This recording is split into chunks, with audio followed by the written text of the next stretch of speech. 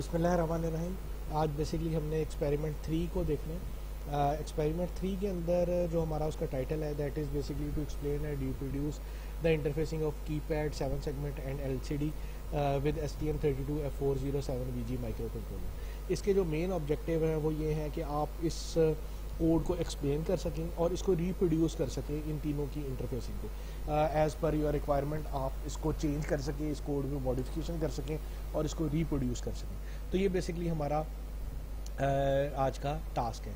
इसके अंदर मैं अपने यूट्यूब लेक्चर्स के अंदर कीपैड की इंटरफेसिंग एलसीडी की इंटरफेसिंग और सेवन सेगमेंट की इंटरफेसिंग में डिटेल्ड ट्यूटोरियल दे चुका हूँ। लाइव सेशन के अंदर भी हम इसके ऊपर डिस्कशन कर लेंगे। उसके बाद आप इसके टास्क आपने बेसिकली परफॉर्म करने हैं। यहाँ पे भी मटेरियल अवेलेबल है। तो ये उसके अकॉर्डिंगली आप इसको एक जस्ट रिकॉल दे दें और उसके बाद आप वीडियो लेक्चर सुन सकते हैं। और आई uh, होप कि आपको सारी चीज़ें क्लियर हो जाएँगी। Still if you have any confusion तो हम उसको लाइव डिस्कशन सेशन के अंदर डिस्कस uh, कर सकते हैं। एनी हाउ uh, इसको आप एक दफ़ा गो थ्रू कीजिएगा।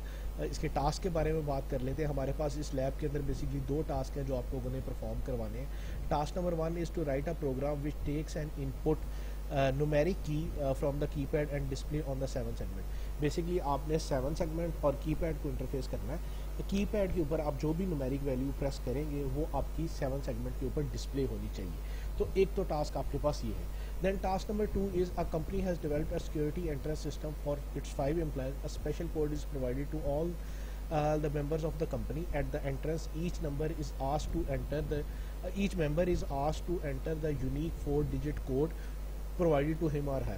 Whether a code is entered the message is uh, whenever the code is entered the message is displayed on the LCD based on which the gate is open or not. Write a code which takes four digit code input from uh, the entering of uh, employee and check if the person is authorized or not. If the person is authorized send uh, send a message basically display a message authorized and open the gate on the LCD otherwise display the message wrong code so so, इस task के अंदर आपने करना actually किया है कि आपके पास ये पाँच जो है वो एम्प्लॉय नेम्स दिए गए हैं। उनके अगेंस्ट आपको कोड भी अवेलेबल किए गए हैं। तो इस टास्क के अंदर बेसिकली आप अगर देखें तो आपको कीपैड और एलसीडी को इंटरफेस करना पड़ेगा। कीपैड के थ्रू ईच यूज़र अपना रिस्पेक्टिव कोड पंच करेगा।